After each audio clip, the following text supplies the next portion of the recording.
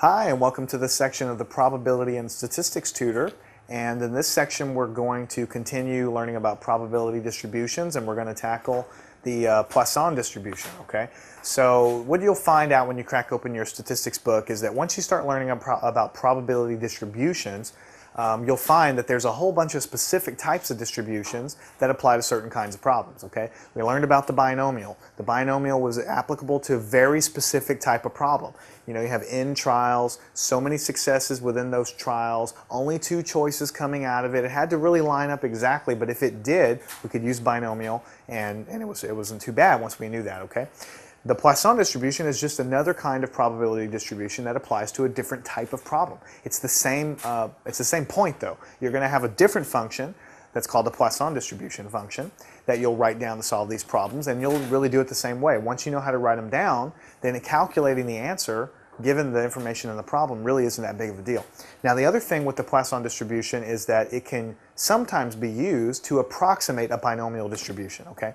The good news is that the Poisson distribution, once we write the function down in a minute, I'll show you, it's really not as complicated uh, to write down or to calculate as a binomial distribution. So it's actually kind of a simpler probability distribution to begin with, which is nice, okay? And under certain conditions, you can actually use the Poisson distribution to approximate the uh, binomial distribution and get an answer that's pretty close to the actual binomial distribution, which is the correct answer, okay?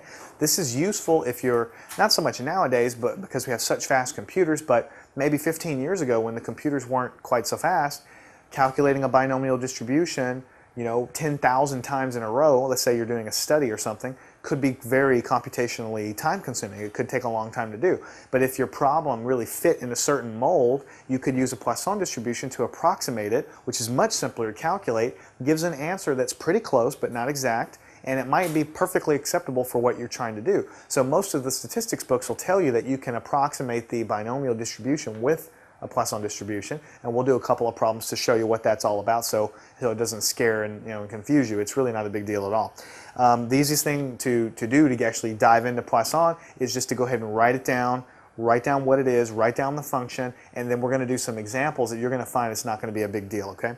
So the big deal to remember before you even write anything down is that the Poisson distribution really applies to occurrences of some event over a certain time interval, okay? And you'll see what I'm talking about when we get uh, in, into the problems. Over some type of interval, you might have an average number of raindrops that fall into a bucket, right? And then over a certain period of time. And then I might ask you, well, how many buckets, how, how, what's the probability that 50 drops will fall into that bucket over a, over a one minute period?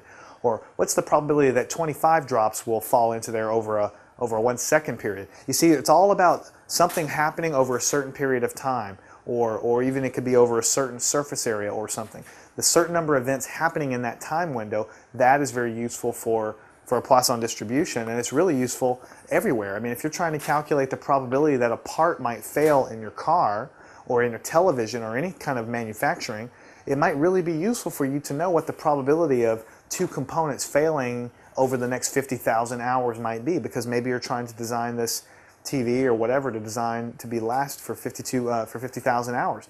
So Poisson might come in handy there. So let's go ahead and write it down and see what what it's all about. So the Poisson distribution,